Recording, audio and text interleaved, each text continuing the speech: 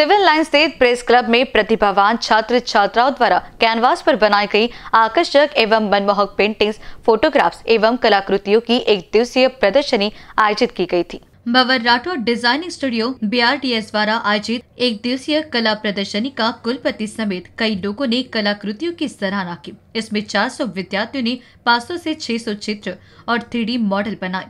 छात्रों ने दिन रात कड़ी मेहनत की है और हज़ार से अधिक पेंटिंग, तस्वीरें और अन्य आकर्षक कलाकृतियाँ बनाई हैं। तस्वीरों और चित्रों के अलावा प्रदर्शनी में कागज़ के काम, थ्री कृतियाँ फैशनेबल पोशाक सामग्री और कपड़ों पर सजावटी कला, मूर्तियाँ, शोपीस और कला के अन्य कार्य शामिल थे इस मौके पर छात्रों ने न सिर्फ़ शहरी जीवन और प्रकृति के विभिन्न रूपों को कैनवास पर उकेरा, बल्कि कई सामाजिक संदेश भी दिए मेरा नाम भंवर राठौर है। मैं भंवर राठौर डिज़ाइन स्टूडियो का प्रेसिडेंट हूँ।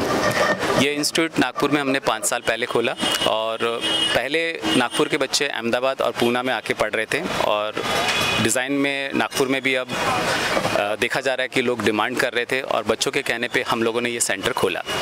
पूरे इंडिया में हमारे 80 80 सेंटर्स हैं जहाँ पे हम लोग बच्चों के स्किल को ढूंढ रहे हैं। हमारे यहाँ पे बच्चे टेंथ स्टैंडर्ड इलेवेंथ स्टैंडर्ड और ट्वेल्थ स्टैंडर्ड के आते हैं जिनको ड्राइंग में इंटरेस्ट होता है।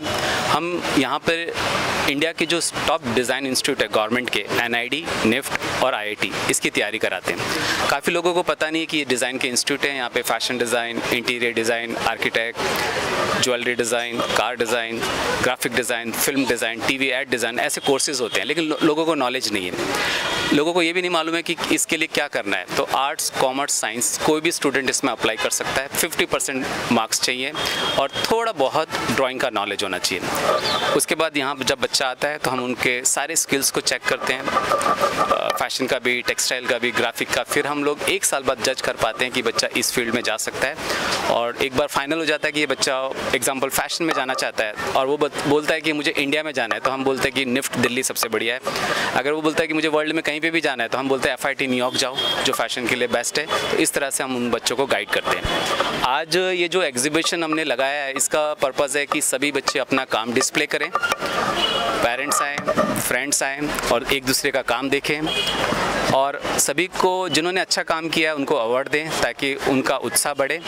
और उसी के साथ इंडिया के जो भी टॉप डिज़ाइन इंस्टीट्यूट है इंडिया के टॉप ट्वेंटी डिज़ाइन इंस्टीट्यूट उन लोगों को हमने यहाँ पे एक ही छत के नीचे बुलाया ताकि पेरेंट बैंगलोर बॉम्बे दिल्ली ना जाके यहीं पे सभी कॉलेज से बात कर सके और फ्यूचर में किस कॉलेज में जाना है, उसका डिसीज़न ले सके। आज की पीढ़ी का टैलेंट आपने देखा, इमेजिनेशन आपने देखा। प्रदर्शन का उद्घाटन राष्ट्र संत टुकड़ोजी महाराज नागपुर विश्वविद्यालय के कुलगुरु डॉक्टर सुभाष आर चौधरी के हाथों हुआ इस दौरान बी के संस्थापक व अध्यक्ष डॉक्टर भवन राठौड़, रीना पांडे व अन्य मान्यवर उपस्थित थे। कैमरा पर्सन अजित कुंवर के साथ क्षितिजा देशमुख की रिपोर्ट।